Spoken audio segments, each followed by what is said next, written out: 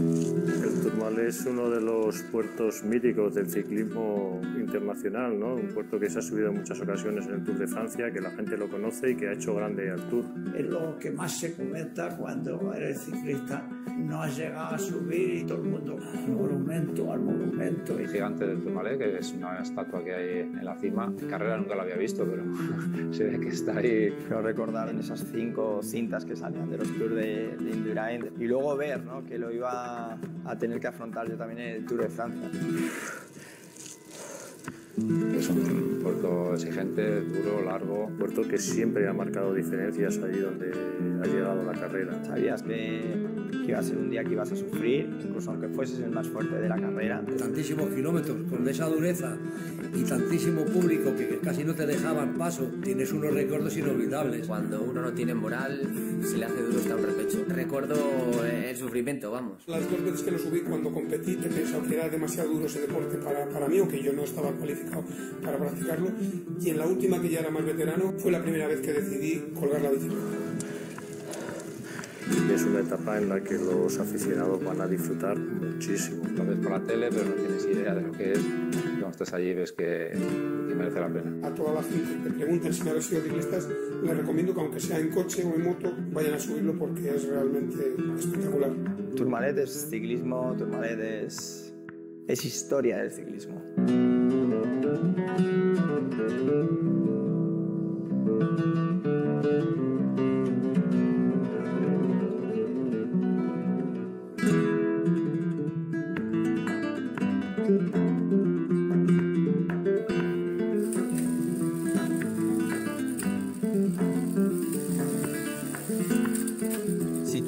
Departamento de los Altos Pirineos, el Tourmalet separa los valles de Adur y de Po.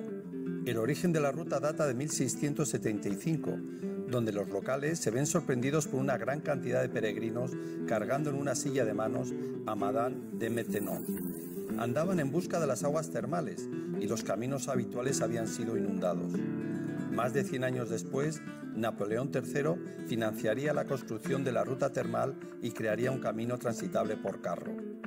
El Tour de Francia llegaría como gran reclamo turístico de las aguas termales y de la belleza del paisaje perenaico.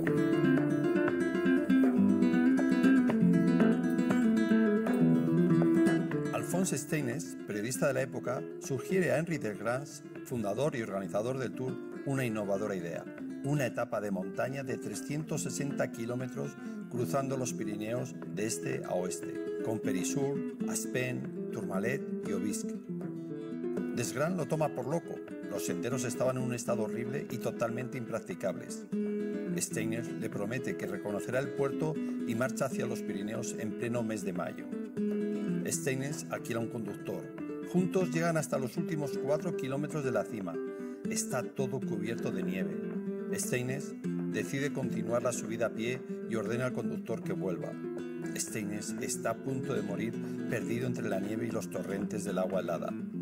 Por suerte, lo encontraron a las 3 de la mañana, cubierto de barro, hambriento y muerto de frío.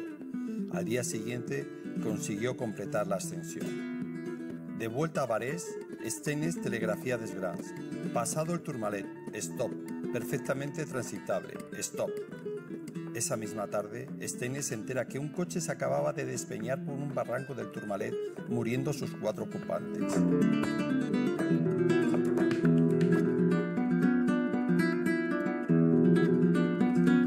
1910, Henry Desgrange anuncia que va a haber una etapa de montaña en esa edición. Algunos corredores fueron a reconocer el terreno y volvieron totalmente consternados, diciendo que no se podían subir esos cuatro puertos y menos en el estado tan lamentable que estaban las carreteras.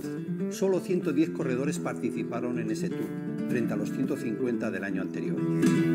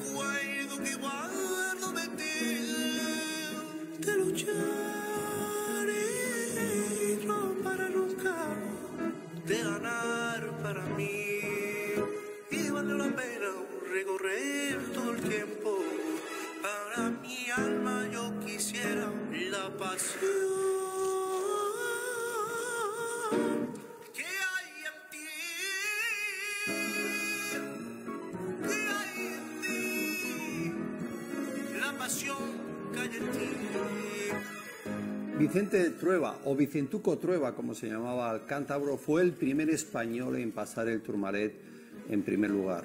Tourmalet es de esos puertos que no hay que ganar la montaña, pero simplemente con ser un corredor que pasa primero en esa ascensión, pues ya pasas a ser parte de esa mística y de esa historia de, de este deporte. Tienes unos recuerdos inolvidables de estos puertos tan, tan impresionantes como es Avisque Tourmalet, sobre todo Tourmalet que, que hemos dejado allí los españoles, todos hemos mm, más o menos triunfado en ello. El día de antes coges el perfil, le miras, inspeccionas y ves que el la primera dificultad montañosa el Tourmalet. Los sprinters, el mayor miedo que tenemos es al primer puerto. El primer puerto es el que te, si te quedas ahí, eh, tienes muchas posibilidades de entrar fuera de control. Yo no dormía porque el, primer- el puerto, el más duro de toda la etapa era el primero, el Tourmalet. Y quedarte ahí suponía irte, irte para casa.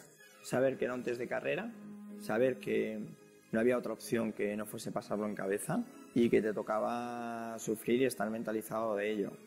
De hecho, el Tourmalet es una de esas subidas que cuando vas a reconocer los puertos del Tour no puedes cruzar por arriba, ¿no? Porque está todavía la nieve y yo creo que quizá lo hace todavía más especial si cabe, ¿no? Poco a poco vas venciendo los miedos que tenías de- del día anterior, del mítico Tourmalet, de cómo será. Una cosa es verlo en la tele y otra cosa estar en directo ahí. Y bueno, al final ves que todo se puede subir, incluso todo se puede coronar el primero. En la Vuelta a España del 92 yo conseguí pasar en aquella ocasión primero por el Alto del Tourmalet, luego había que subir el Luzardiden, que es donde estaba instalada la meta, y, y conseguí ganar aquella etapa. Había pasado primero en otra ocasión en el Tour de Francia de 1988, también con final en la, en la estación de Luz Tardiden y también gané aquella etapa, ¿no? Así es que pues dos veces que, que pasé por allí y que conseguí la etapa es un bonito recuerdo. En el Tour de Francia del 88 acababa en Luz Ardiden, se había escapado Lale Cubino y yo por detrás, ya de amarillo, pues los colombianos y en especial Lucho Herrera me hizo un durísimo ataque un poquito antes de la zona de la Monjí y la verdad que le respondí francamente bien. Es más, me entró hasta ganas de contraatacar algunas veces, pero dije yo, ostras, que este puerto es muy largo, no voy a ser demasiado ambicioso porque había que subir todavía Luz Tardiden. Para mí es que era llegar al Tourmalet y lo que para muchos era un momento de crisis mental, para mí era un momento de euforia, era encontrarme con un puerto que se ajustaba perfectamente a mis condiciones. La verdad que con el Tourmalet he tenido siempre buen recuerdo. No he pasado, me pasas momentos duros porque es exigente y duro, pero no he tenido así crisis o lo he pasado mal.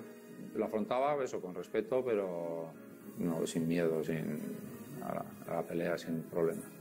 El Tourmalet me ha marcado y además me ha hecho ver un poco lo cruel que es y si no estás en óptimas condiciones lo que te hace sufrir, ¿no? Por eh, Lutz Sansover me permitió en el 2010 mantener a raya Andy me está arrancando, arrancando, arrancando y me estaba haciendo sufrir y dije, mira, le arranco yo y, y ya que se calme, ¿no? Él con el maillot blanco de joven, yo con el maillot amarillo en ese momento. Sabía que si coronaba con él, el Tour de Francia en principio era mío, le sacaba casi un minuto. Eh, para mí era el gran desafío poder aguantar eh, ese puerto, ¿no? Al final, independientemente de que te encuentres bien, sabes que si tienes un mal día puedes perder todo el Tour de Francia, ¿no?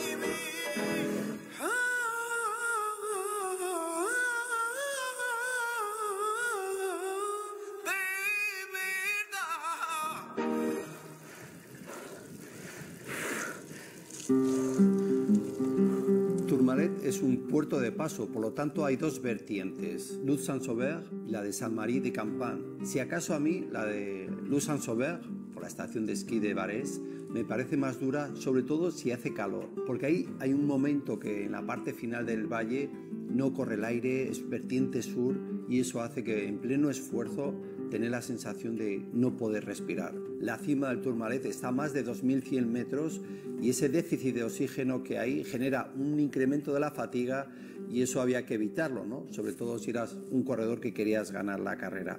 Las dos veces que yo gané subíamos por la Monji, por la, parte de la estación de esquí, que yo digo que para mí es un poquito más dura. La impresión que yo tengo es que había más desnivel. Hay una parte al principio, 6 o 7 kilómetros que van entre árboles, que no es tan duro, pero en cuanto llegas ya a la zona de los túneles, aquella subida se hace verdaderamente pesada. Hay como dos tres partes, ¿no? que es el inicio, que es violento, y una recta así larga, sobre todo de los Sansover, que dices, madre mía, ¿dónde, dónde va esto? Luego ya suaviza un poco. Eh, y luego entras a la, a, a la, mitad de zona, que se ve todo el, todo el final, y ves la cima, y dices, tengo que subir hasta allá arriba, lo que me queda, ¿no? Y luego te animas, te animas, te animas y ves que queda poco para el Tourmalet y engaña mucho porque es lo más duro. Los, el último kilómetro, kilómetro y medio es lo más exigente. Entonces, ah, que me queda poco, tira, tira, que me queda poco. Y ahí, a falta de un kilómetro, te viene el hombre del mazo y te, te da más de uno. Se mezcla todo, la dureza y la altitud y ya combinación perfecta para quedarte en el último kilómetro. Se me ha hecho más dura la Monji. Lo recuerdo con, con, mucho calor, ir ahí en la punta del sillín, tirando de clase de una forma increíble. Y en cambio, eh, el Sansover pues, fue un gran desafío con Andy Schleck, pero en todo momento tuve la situación bajo control. No hay puertos ni más duros ni menos duros. Muchas veces es en el estado en el que subes, en el momento físico que te encuentres o un mal momento. Por el lado de la Monji, por ejemplo, yo lo pasé muy mal y se me hizo interminable. Tú puedes ir a un puerto que ni mucho menos es lo más duro en cuanto a porcentajes, en cuanto a asfalto y demás, pero como no estés en condiciones, puede ser el peor puerto de tu vida.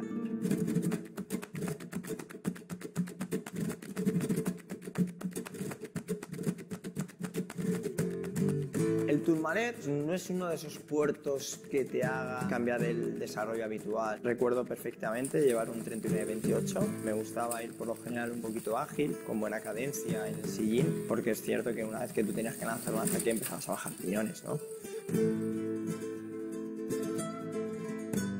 Normalmente corríamos con el 21 de piñón más grande y a lo mejor en algunas etapas de esas tan duras poníamos el 23, pero era lo que había, 23. Y de plato pequeño 39.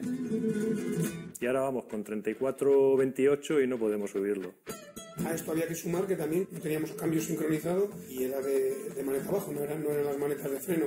Con lo cual, cada vez que cambiabas, tenías que dejar de hacer fuerza, sentarte, elegir el piñón, volver a hacer fuerza, perdía.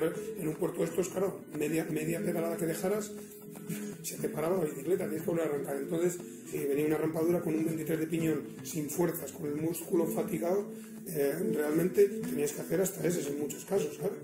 Y en generaciones anteriores a las nuestras todavía peor, todavía tienen menos desarrollo. Desarrollo yo llevaba 14, 16, 18, 20, 22 o 21.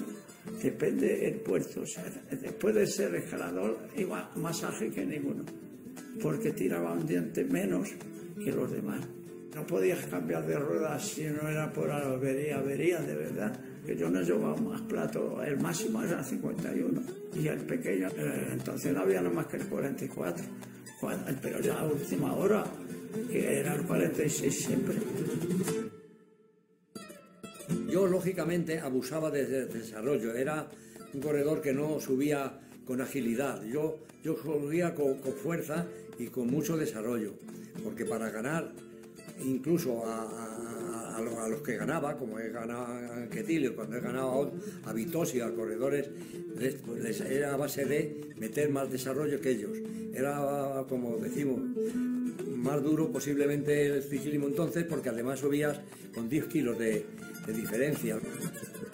por este motivo tienen que buscar puertos realmente duros para volver a equilibrar la dureza con los desarrollos que se llevan, porque eh, hoy en día con los desarrollos actuales y los asfaltos, puertos que antes de realmente eran de primera, hoy no lo son tanto, pasan, pelotones eh, de 5 corredores cuando antes el pelotón más grande que pasaba era de 10.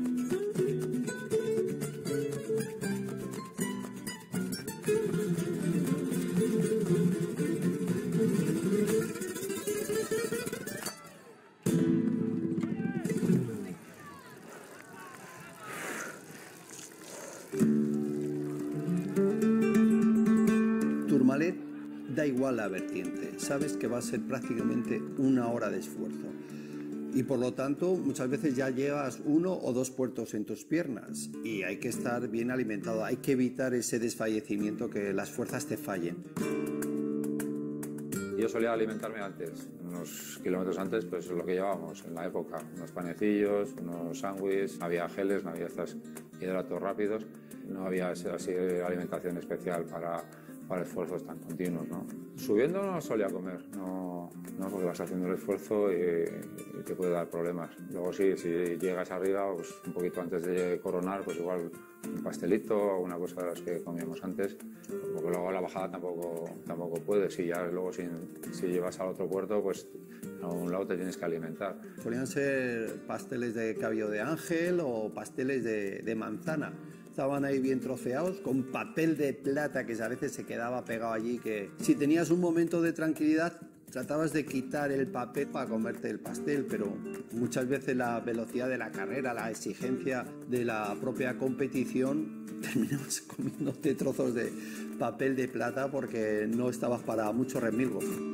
Yo recuerdo también ya al final eh, llevábamos botellines de, glucosa líquida. Había algunos que se echaban el trago de golpe, ¿no? Pero yo creo que era peligroso y prefería siempre dosificarlo. Un par de traguitos justamente antes de empezar el puerto y, y poco más, ¿no? Si normalmente cuando en otro puerto eh, calculabas más o menos el tiempo, cuando tú te tomabas un gel para que te hiciera efecto, el Tourmalet, al ser un puerto tan largo, prácticamente de, una hora, de 50 minutos, dependiendo del ritmo al que se suba, te obligaba a tomarte ese gel a pie de puerto incluso si tenías otro gel en la espalda te lo podías llegar a tomar durante el puerto, sobre todo por tener garantías de, no tener esa pájara que todos tememos, esa crisis de hambre que en un momento dado te dejas sin energías y dices adiós ¿no? al Tour de.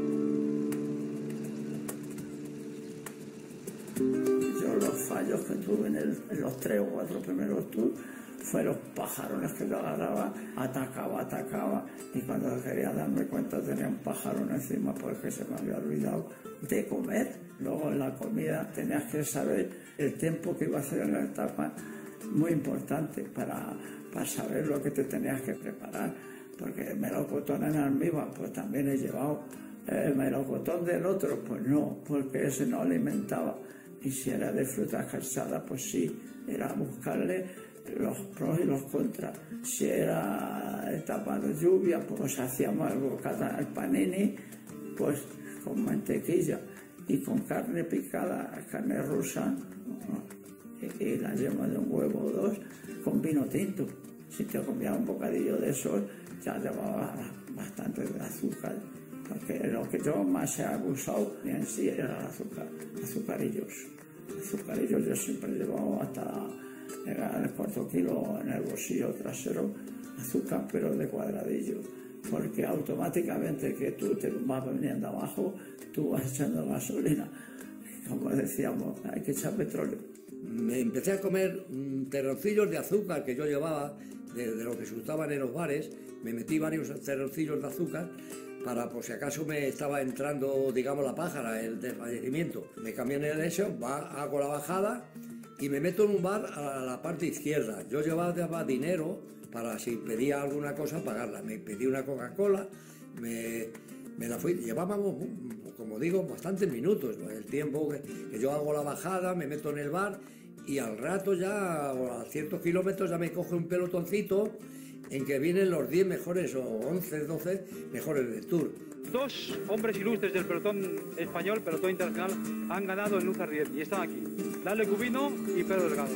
Dale, ¿qué recuerdas de esa etapa? Realmente Tourmalet es un puerto que te permite jugar. Si vas bien, y tienes buenas fuerzas, es un puerto duro y, y, realmente juguetón. Ahí la anécdota fue con Jesús Montoya, el líder, que su director Javier Mínguez, en un momento dado de la carrera le oigo que dice, tú a rueda de delgado. Y bueno, yo como me iba encontrando bastante bien en la ascensión, decidí a jugar un poquito a, ciclistas o a ser un poquito eh, bribón o bandido. Iba tan a mi rueda que yo empiezo a descolgarme un poco posiciones para que Jesús me adelante y Jesús todo el rato a mi rueda, a mi rueda y yo cada vez más despacio y el grupito de Chávez, de Giovanetti, de Parra, de Rominger, se iban para adelante y ya hubo un momento que se fueron del todo y en ese momento Jesús ya eh, me adelantó y fue a buscar al grupito de los buenos.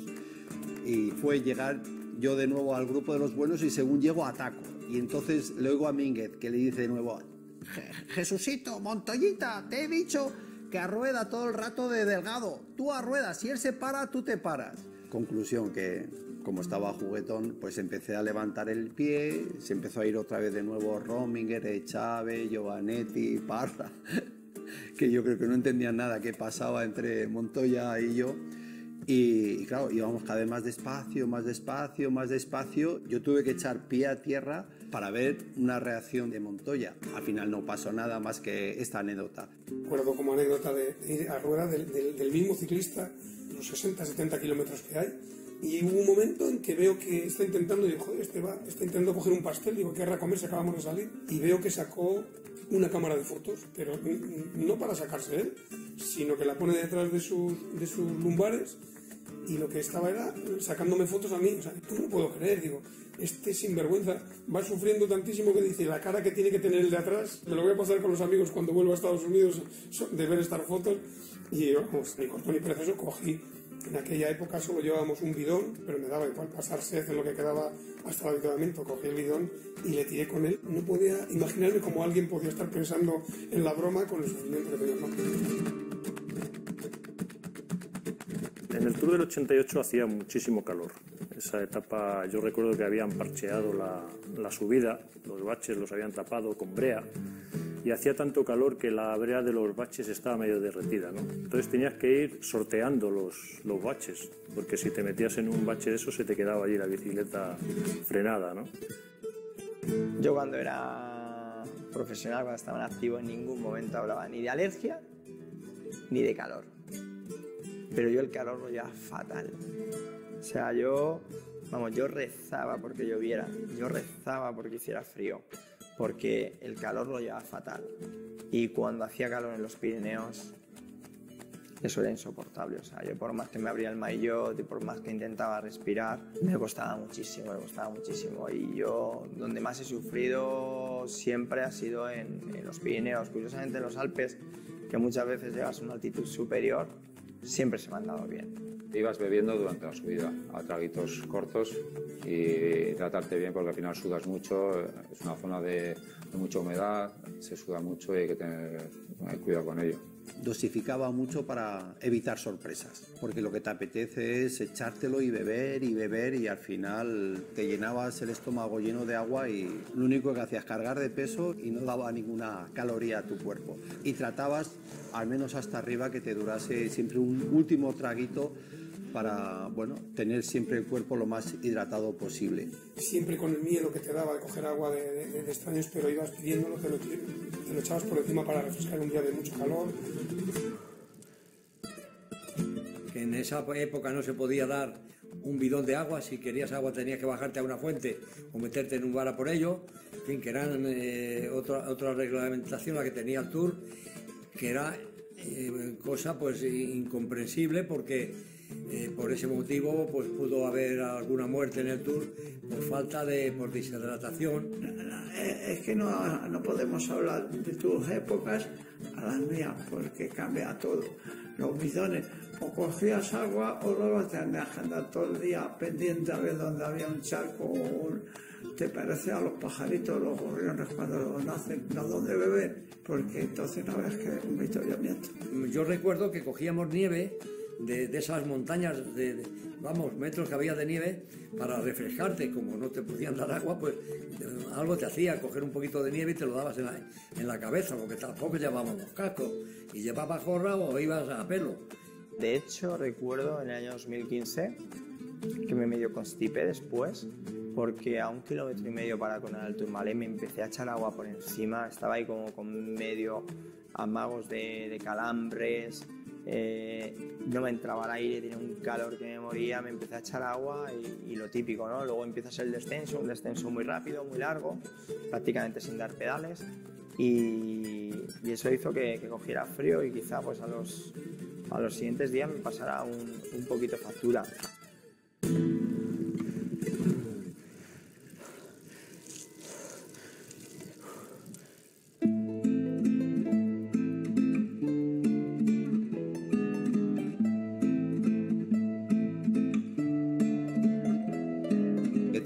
Que me contase en la misma etapa dos corredores muy importantes en la historia de este deporte, que es Bamontes y, y, Julio Jiménez. Me estoy refiriendo al Tour de Francia de 1964. En mi debut del 64, cuando es la etapa de los Pirineos, la etapa reina de los Pirineos, que incluye el Tour Malais, que se decidía el Tour de Francia entre Anquetil, Pulidor y tercero en Discordia Bamontes, resulta que yo ataco en el primer puertecito que sería de, de segunda o de tercera, porque yo iba buscando intentar ganar la montaña a Federico, que era el rey hasta ese momento de varios años.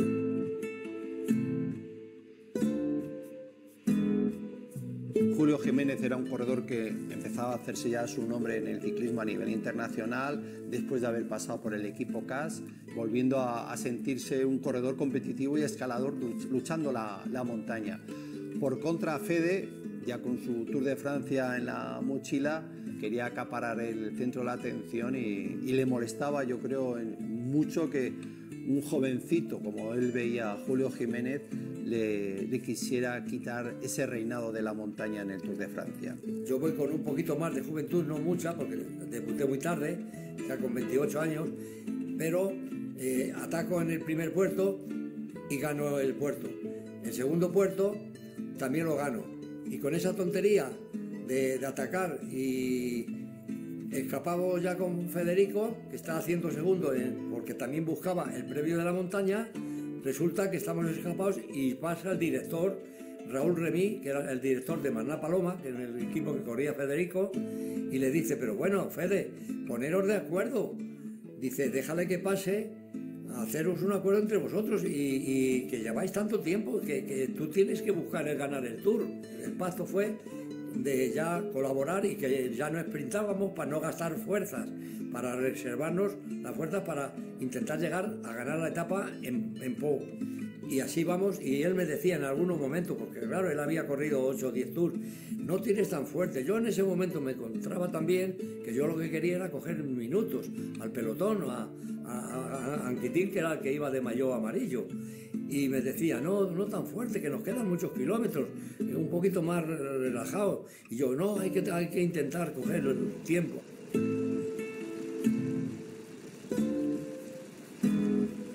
Este acuerdo se mantiene perfectamente en el siguiente puerto en el Aspen, en el Tourmalet también, pero claro, es que en cada paso del puerto, si empezábamos con 4 o 5 minutos de diferencia respecto a Anquetil, Pulidor, que eran los hombres de la general en aquella época, eran 2 y 3 minutos más. Yo me di cuenta que en ese momento Federico forzó un poquito la marcha para, yo pienso, para dejarme el último que yo recuerde últimamente con Julio Jiménez, pues no le dejé ganar los cuatro puertos, pero el 5 le metí siete minutos solamente en el Ubirki. En el Ubirki. Error de él porque de lo contrario podría haber ganado ese tour si se hubiera comportado como, como tenía que haber sido. Fede era maillot amarillo del Tour en la cima del puerto con algo de 6 o 7 minutos de diferencia, pero claro, en esa bajada y en esos llanos hasta Po, pues unos buenos relevos de Anquetil, Pulidor, de Rudy Altin, entre otros grandes corredores, un grupito de 10 corredores rodando a mil por hora, pues fueron capaces de echar, no mano, pero sí de recortar gran parte de esa diferencia que tenía el toledano y quedarse a pie de vivir una segunda victoria que hubiese sido en el Tour de Francia para, para Fede.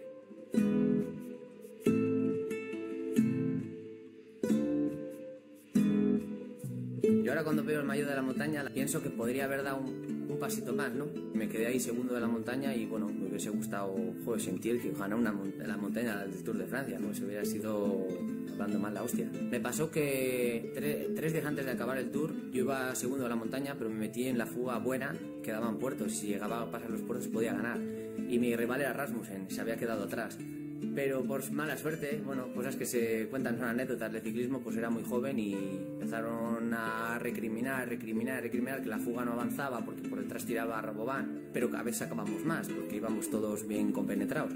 Y había otro par de, había dos en la fuga que eran de Rabobán. Y cuando llevábamos dos minutos, joder, pues empezó Paulini a llamarme de todo, pero a insultarme de todo, que me quedara, que me quedara, que me quedara, ¿no? que esa, esa fuga iba a llegar y que por su culpa no, por mi culpa no íbamos a llegar, ¿qué tal? Bueno, me empezó a llamar de todo, hasta me empujó, los de Rabón intentaban cortarme, se ponían delante mío, los dos se quitaban, tal, y digo, joder, y yo me di cuenta que a veces en el tour hay cosas como esa que no, o yo qué sé, cuando iba la primera vez de líder, segundo iba un francés, pues los franceses que hacían, El- los equipos de, los de la Boulanger me, me cerraban el, el equipo entero así y cuando llegaba a un puerto no me dejaban salir. Y yo decía, pero ¿cómo puede ser esto, verdad? Yo que era tenía 25 años, era un pringao y, y al final me, me echaron de la fuga. Y claro, entonces pues ya ahí se desvaneció todos mis sueños, porque hasta ese momento podía haber vuelto a recuperar y no había más etapas de montaña. Podía haber vuelto a recuperar el mayor, pero bueno, se quedó ahí en, en un sueño perdido.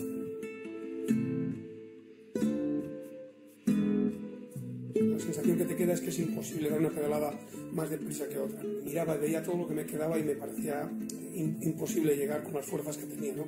Un calor impresionante, sufrí muchísimo. Se te pasa por la cabeza que no tienes categoría suficiente como ciclista, ¿no? Porque, pese a que es, tu especialidad es el sprint y tu objetivo es pasar para intentar ganar al día siguiente, es un momento en el que te entran muchas dudas porque de repente ves que llega el coche escoba, es decir, que, que eres el último, que todos los que van por detrás de ti se han retirado ya y ahí empiezan bueno, pues, los demonios esos que dan a los ciclistas en una etapa como esta en la que ya dices, bueno, no tiene sentido, voy a entrar fuera de control, el sufrimiento ya es insuperable decides subirte al coche. Y dentro del coche pues empiezas a, a sentirte que no has hecho todo lo que podías, ¿no? Es hablar del momento que te apeas de la bici y dejas de, bajan las pulsaciones, dejan de doler las piernas y dejas de sentir ese- esa angustia, pues parece como que has hecho algo malo, como que podías haber seguido. Otro compañero por- eh, seguido en el siguiente puerto en el Pelesur eh, eh, también tuvo que, le tuvimos que apear literalmente los compañeros porque nos decían los espectadores eh, Guillermo Arenas que iba con una insolación fue realmente impresionante subir al coche no, no sabía dónde estaba. Todas esas cosas te hacen realmente en ese momento replantearse. Después se te olvida al día siguiente o en el mismo hotel se te olvida todo. O no se te olvida pero de alguna forma aceptas nuevamente que forma parte de ese deporte ¿no? tan duro. El año 95 subimos el Tourmalet, lo que pasa es que iba medio parado porque había la muerte de Casartelli, bajando el Aspet, y ya se corrió la voz de que había y fuimos un poco como medio parados y no hubo mucha pelea. Por delante sí iban escapados y por la victoria de etapa, pero ahí a nosotros ya nos dijeron que había habido algún accidente. Bueno, vimos el accidente y, llevamos el susto encima, ¿no? Entonces el año lo subimos y yo creo que fue el, el último año que, que subí el Tourmalet.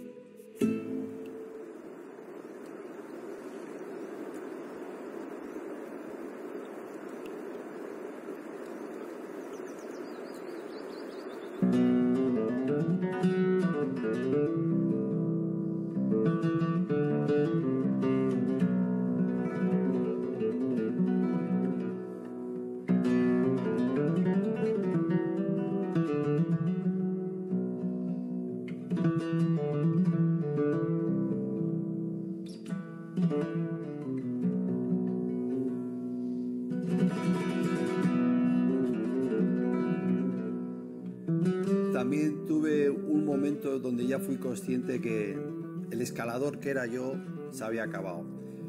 Me estoy refiriendo al Tourmalet y al Tour de Francia de 1991. No tenía buenas sensaciones y recuerdo el inicio del puerto, que iba ya incómodo, que iba, bueno, Pedro, tú tranquilo, ahora es un mal momento, deja que tu cuerpo empiece a funcionar para que luego ir mejor en la parte final.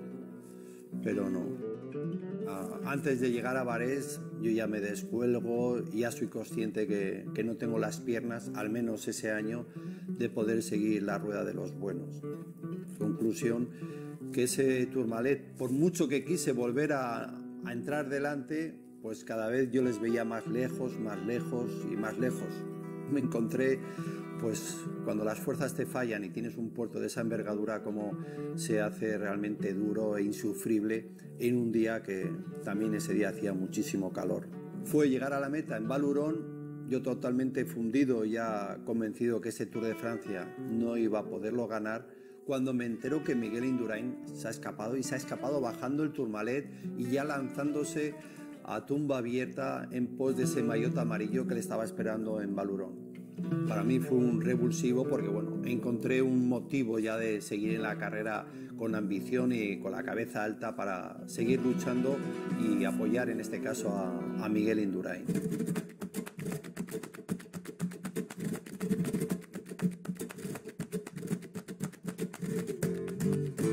Es tan importante la subida como la bajada. Se puede sacar subiendo y se puede sacar bajando. El turmalé más, porque subir te exige mucho y llegas arriba sin fuerza, sin energía. Para bajar estos puertos están las curvas, eh, la pendiente, hace falta destreza.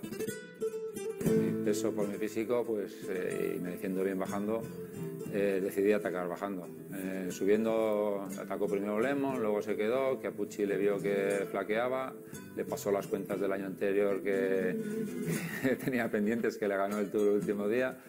Se lió ahí, luego sprintamos para la montaña y todos querían que si ropa, que si no sé qué. Dije, nada, aquí no se para, la carrera está lanzada y aquí no se para. Y me la jugué bajando allí y me salió bien. Y ahí fue donde empezó un poco, pues ese, cogí ese día el mayo amarillo y empezó mi, mi idilio con el Tour de Francia. Desconozco cómo está el asfalto ahora mismo, pero cuando yo he pasado por allí era ese típico asfalto rugoso, sobre todo botoso, que no era completamente uniforme y no te transmite confianza ¿no? a la hora de, de, tumbar. La bajada tiene algunas curvas porque empiezas a coger muchísima velocidad, empiezas a coger mucha velocidad, ves de lejos la curva y dices, bueno, parece que no es demasiado problemática. Y cuando te quieres dar cuenta, la bici no para, no para, no para. Era un descenso delicadillo. Otra de las cosas que sufrimos los sprint en un puerto como pues el Tourmalet es el descenso, porque si sufres mucho subiendo pierdes muchos reflejos y la bajada estás acostumbrado a arriesgar mucho en las curvas y lo pasas mal porque han pasado ya todos los coches o parte de los coches también después de los pistas de cabeza y sacan muchas de las piedras. Entonces en casi todas las curvas peligrosas y menos peligrosas te encuentras piedras justo cuando estás inclinado tumbando para, para trazar la curva y te encuentras con una piedra, tienes que rectificar. Veías que en cualquier momento te podía pillar una piedra y caerte cuando estás bajando a velocidades por encima de los 80, 90 kilómetros por hora.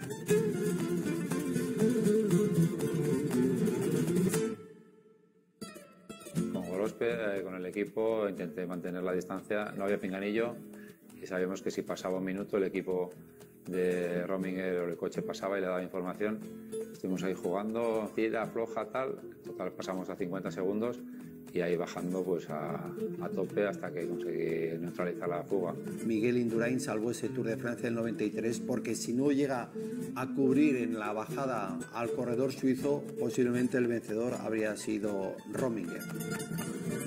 Pasó apuros ante un ataque durísimo de Rominger y coronó a un minuto del suizo. Tuvo que hacer un descenso increíble porque con 55 segundos de ventaja que tenía Tony sobre Miguel, Miguel fue capaz de recortar ese minuto antes de llegar a, a Luz Sansover. Me hice mis cuentas, tenía un compañero adelante, algunas veces me salía fuera de la carretera, pero dije, oh, le cojo antes de que se junte con el compañero, si no luego ya se me liaba la carrera, ¿no?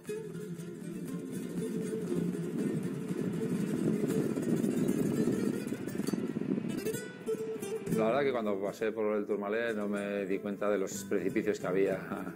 Luego, después de unos años, he ido con, con gente un poco en plan, en plan, turismo y dije, joder, hay unos precipicios aquí que si te caes te puedes hacer mucho daño.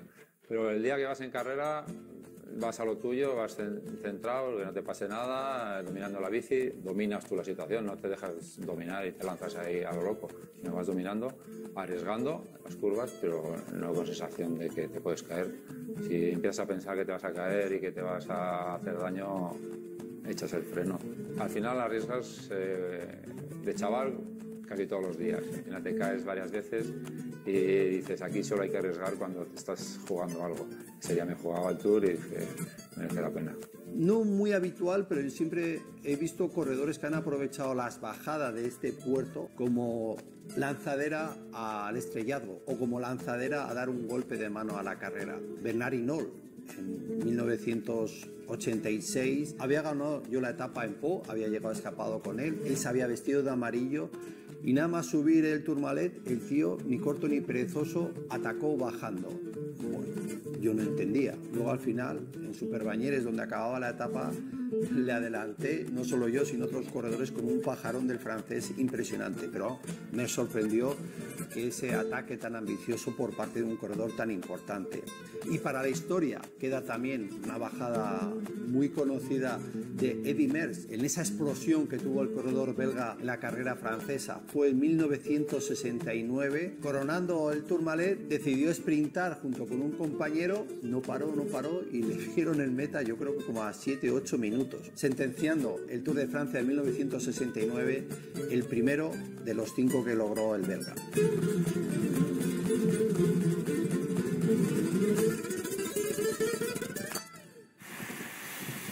Tourmalet, siendo un puerto en el Pirineo francés, también tuvo una incursión en la Vuelta a España. Fue en 1992.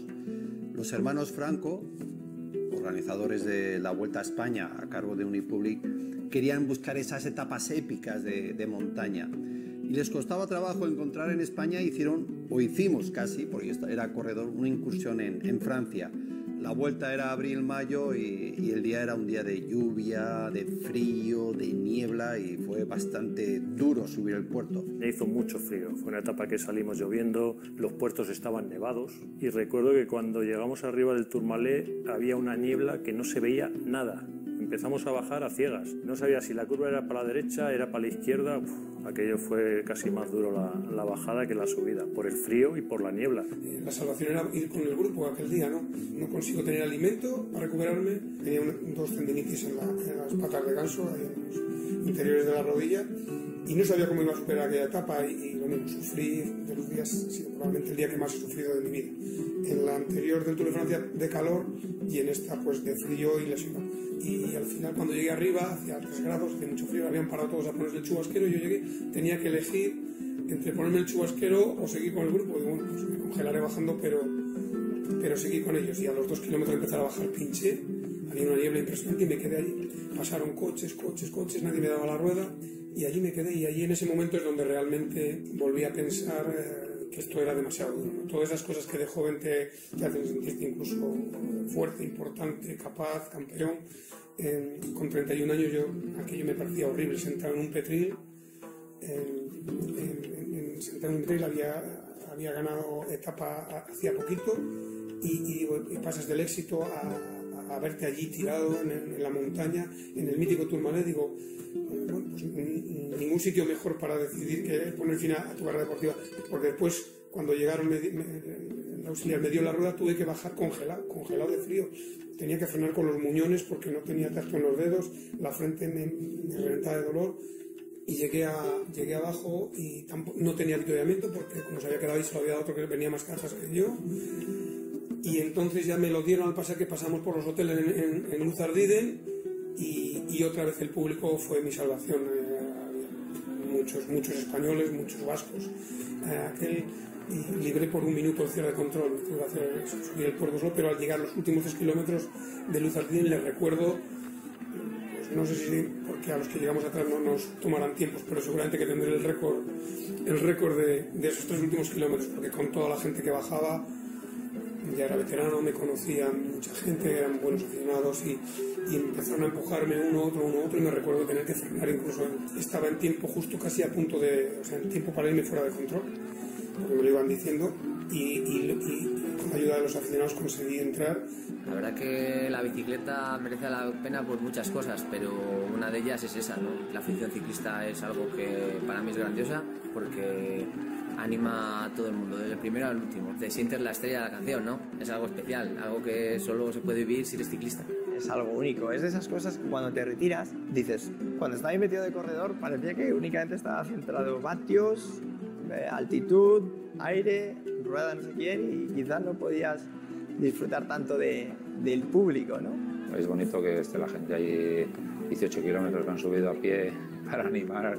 Llevan dos días allí de, de camping para, para, ver el tour. Es un esfuerzo que hay que hacer también. Lo he hecho yo de joven en la otra parte y lo valoras. Cuando eres corredor lo valoras. El máximo esfuerzo cuando se está diciendo la carrera, cuando todo está siendo tan espectacular, el, el, el, el, aficionado te aplaude y te puede tocar, que te chilla el oído, es que, es que le ves que vibra, que vibra contigo y, y está formando parte de, de, de, ese esfuerzo que estás haciendo. ¿no? Ves como el público está ahí delante, que te ofrece agua, te ofrece los ánimos y cómo algunos empiezan a correr y cómo van chocando entre ellos. Y tú dices, Dios mío, que no se caiga hacia el lado que estamos nosotros, que, que te tira. Y con lo débil y frágil que eres, se desplazaba muchísimo español a vernos porque estaban cercanos a España, que te volvían loco ahí con, con los gritos que pegaban los españoles. Tienes unos recuerdos inolvidables. Si falta ese público, ¿dónde está la afición? Porque necesita. Si no tiene eso, a mí eso me escandela. Cuando estabas en los Pirineos, la gente de casa iba más a animarte, ¿no? Ahí en, en Alpes pues están más holandeses, belgas, italianos. Es muy bonito correr delante de la afición española e ir escapado en el Tour de Francia. Te sentías como en casa. Motiva porque pese a que quizás llevas 12, 14 días fuera de, de casa, pero ese calor, ese, ese cariño se nota y te hace si cabe pues sufrir un poquito más ¿no? para, para dar lo máximo de ti.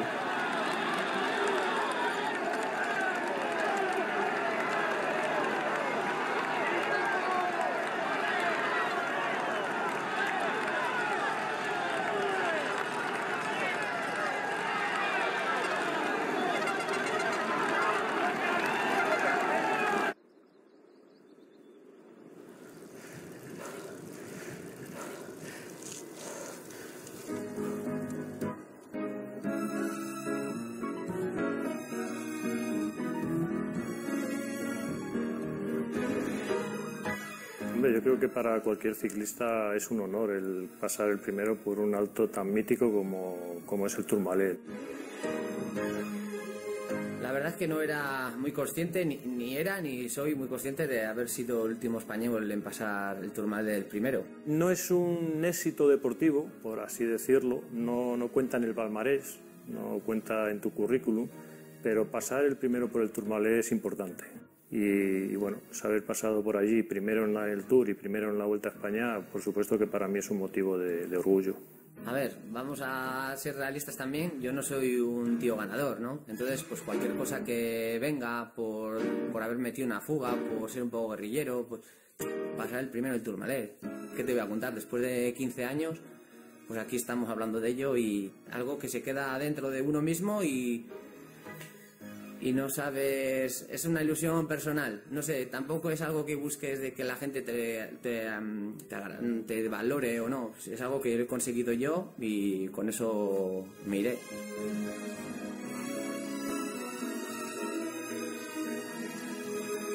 Todos los años, desde que dejé de correr en el, en el 94, lo habré subido unas 18 veces. Y es más, todo el grupo de amigos que no son ciclistas, que, que vienen cada año y cuando se apuntan, el objetivo es ir a subir el Tourmalet. Es como superar algo, decir, no me puedo morir sin, sin haber subido el Tourmalet, ¿no? Con mi hijo, hace unos años, fuimos a ver el Tour, nos llevamos las bicicletas y subimos el Tourmalet. Pero tuve que parar cuatro veces para llegar arriba. Tu hijo pues ya es joven, tiene fuerza y nosotros ya no estamos en una edad de darnos muchas palizas, ¿no? Para esta última vez yo creo que llevaba 34, 24. No, 34, 34. O sea, un completo.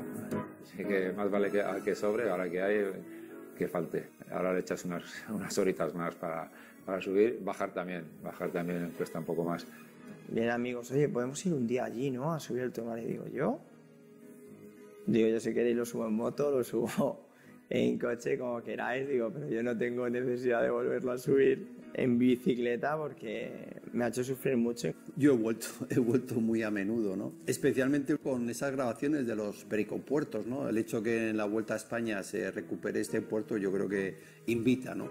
Pero bueno, también he ido con amigos a verlo y, realmente es un puerto que, que, te gusta volver a repetir por el buen ambiente que hay, por los paisajes, por, todo lo que conlleva un, un puerto tan mítico como es este del Tourmalet.